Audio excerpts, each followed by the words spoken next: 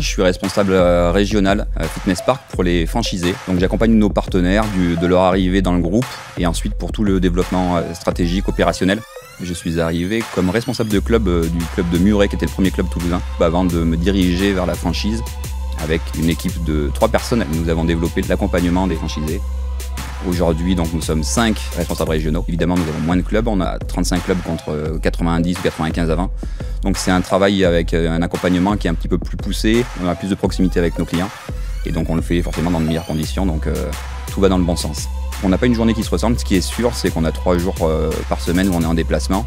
L'idée, c'est d'être au plus près de nos clients pour pouvoir les accompagner et faire en sorte que leurs clubs soient les plus rentables possibles et le plus vite possible. Alexandre est un relais excellent entre le groupe et, nous, les licenciés de marque, très positif et nous permet donc d'avancer dans notre métier.